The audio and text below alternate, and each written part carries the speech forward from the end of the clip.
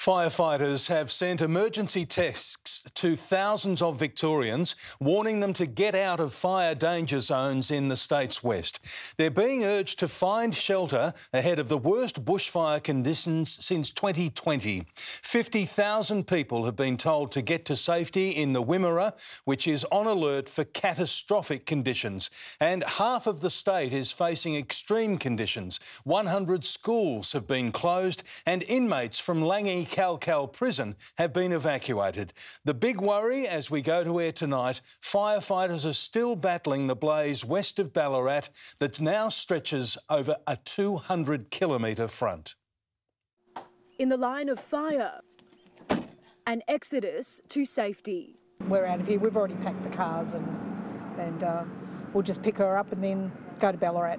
Along with her sister, Barbara Smith's first stop is picking up her granddaughter from school. I'm scared that we're going to lose our house.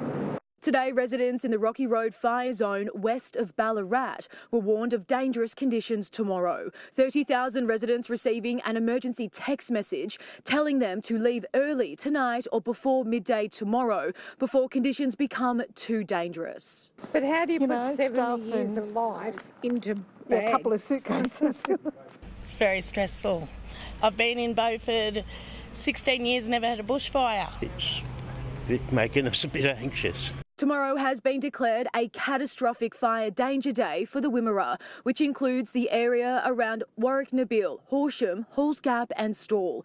Only the second time this warning has ever been issued.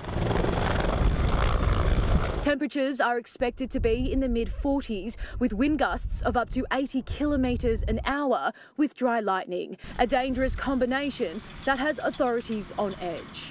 Tomorrow is likely to be one of the most dangerous fire days Victoria has experienced in recent years. So much so, prison authorities have evacuated the entire population at Langi Kalkal Jail. Government schools also shut. It's expected there be at, at close to 100 schools and early childhood facilities will be closed tomorrow. More than half the state will be under extreme fire danger, and all available resources are either in place or on the way. In the air,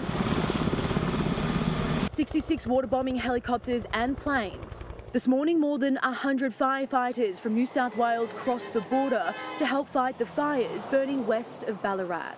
Leaving today, working for three days, and then coming back after that. This fire has the potential to run again. It's already claimed six homes and dozens of sheds. The danger in front of mind for tens of thousands, making the call tonight to stay or go. We got told to go tonight or tomorrow morning, and we are definitely going. I've a lot of very valuable cars, so uh, I want to stay there. And um, my I'm partner's taking, the, I'm taking the dogs.